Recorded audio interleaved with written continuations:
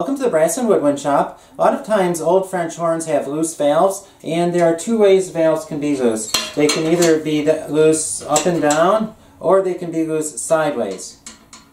This video will be about how to tighten valves that are loose in and out. To see what the problem is, put the valve in, put the bearing plate on, and then tap it into place.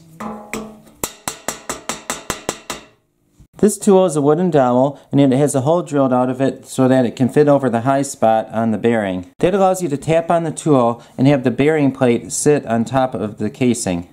Now you need to see how much gap there is, so take the valve and move it up and down. If you turn it over, you can see how much there is.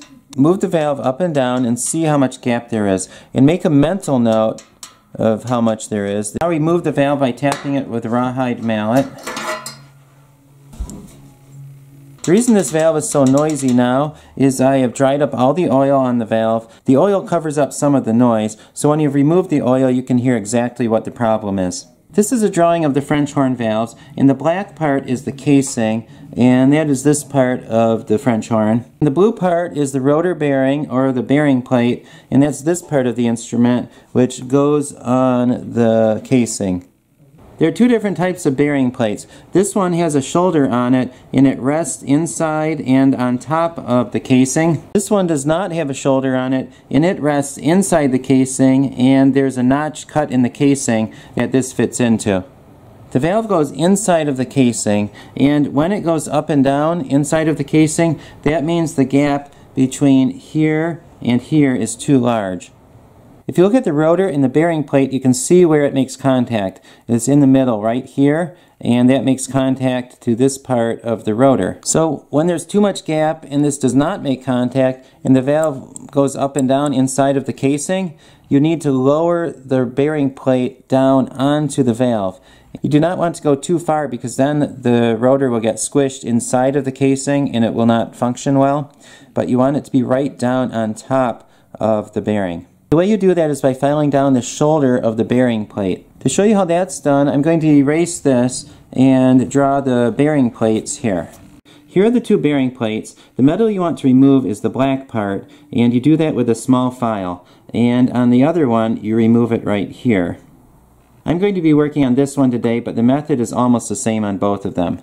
Here's the small file that I'm going to use, and you want to be very careful just to get the black part. Do not get the blue part, because that will make the bearing plate loose inside the rotor and it will fall out easily. This file does not have much grit to it because I do not want to take off a lot of metal on this, just a little bit. I also want to be very careful just to file down the shoulder or the black part of the rotor bearing and not to file down the side of the rotor bearing. So on this file, one of these sides has some grit to it. You want the smooth side of the file to line up to the side of the bearing plate and not the grooved side. You'll need a bench motor or a lathe to do this job because you want it filed smoothly and evenly. And put it into the bench motor. You want it to be square on there so that it files down evenly. Take the file and file just a little bit. Just like that much. And now put it into the French horn and see how much gap there is.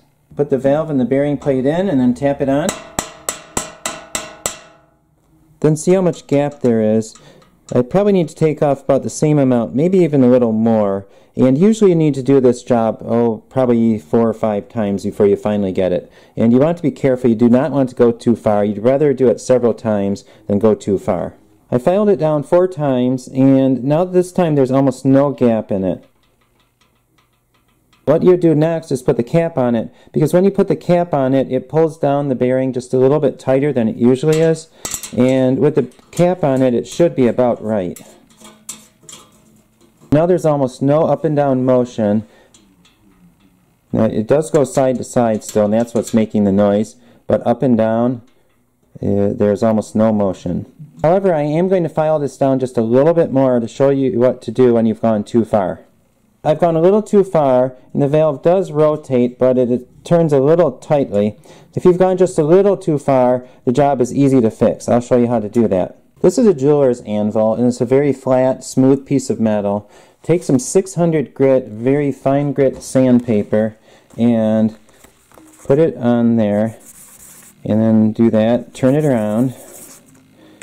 And do that a few times. That will smooth down the bearing surface and because you keep rotating it a little bit as you go, it will sand smoothly. Now try it again and see if you've gone far enough or if you go, need to go a little farther. Now it rotates, but there is a little catch in one spot, so I am going to sand it down just a little more.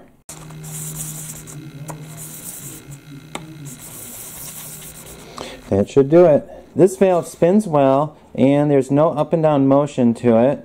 So this valve is done, at least up and down. It still needs to be worked on side to side though. But that is for another video, so look in the description below for a link to that video and other rotor videos. Please subscribe for more band instrument repair videos.